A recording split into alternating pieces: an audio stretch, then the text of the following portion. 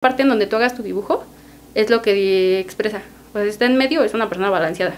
Si está en la esquina inferior, superior izquierda es que eres enojón. Te estoy hablando a lo Sí, el pendejo, pero son Ajá, ejemplos. pero es un- así, dependiendo del cuadrante, significa sí. algo diferente. Y yo digo, ¿pero por qué?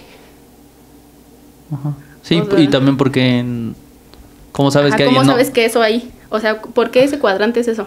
Sí, sí, sí. Ajá. Ok, y, ok. y eso aparte, ¿cómo sabes que la persona que entró no... Ya no investigó Además, ay, qué o, hueva. o ya tiene una experiencia previa y como que ya sabe O sea, y es cognitivo-conductual. es lo que más Se te... supone que tiene evidencia. Sí, y yo, sí, ¿pero sí. cómo? no entiendo.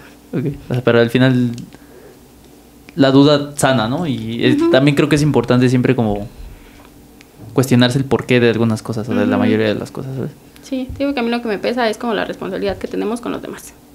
Sí, definitivamente. Definitivamente, y más en tu carrera, ¿no? Ujú. O sea, es como de que tengan mucho cuidado, chavos. Ajá. Eh, teniendo en cuenta todas estas cosas, este, de que a veces hacen falta más prácticas, de que entraste en línea, de que el ambiente no está tan mal, de que los horarios a veces no cuadran. Sí. Eh, ¿Dirías que vale la pena estudiar psicología ahí en FES Iztacal?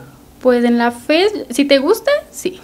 La verdad es que están, digo que los profes me han tocado muy buenos. He tenido mucha suerte porque sí hay profes de los que he escuchado que no están tan, tan buenos. Pero el ambiente la verdad es que está relajado, hay muchos, eh, pues sí te da muchas oportunidades. Este, las prácticas la verdad es que sí están, o sea, están campechaneadas. Te digo que hay en instituciones públicas, privadas, escuelas, en todos lados. Entonces ya depende de lo que te guste y lo que alcances. Este, hay muchas opciones y la verdad me han tocado muy pocas malas experiencias.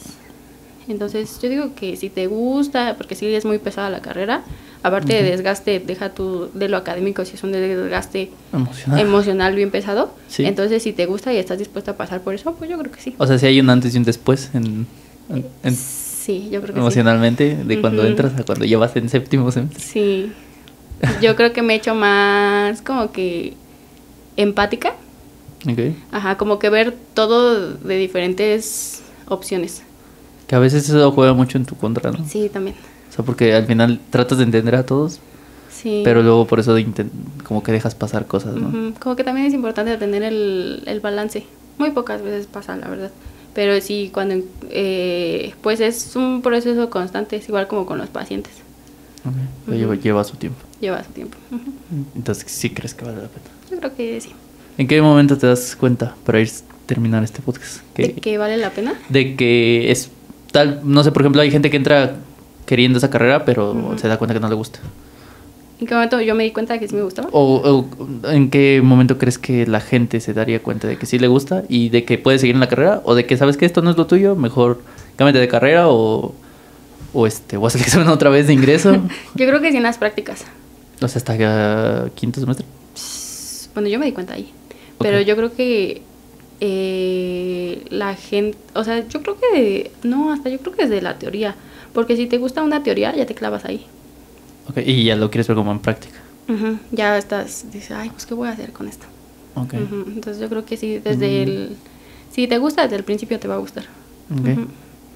Eh, pues creo que con eso podemos cerrar este gran episodio. que aprendí muchas cosas. Muchísimas gracias, Marta, Gracias. por venir. Eh, te deseamos lo mejor. Tus prácticas, la titulación y todo. y mm, a todos los que vieron este episodio, muchísimas gracias, amigos. Recuerden que siempre se puede dejar huella sin pisotear a la gente. Cuídense. Nos vemos la siguiente.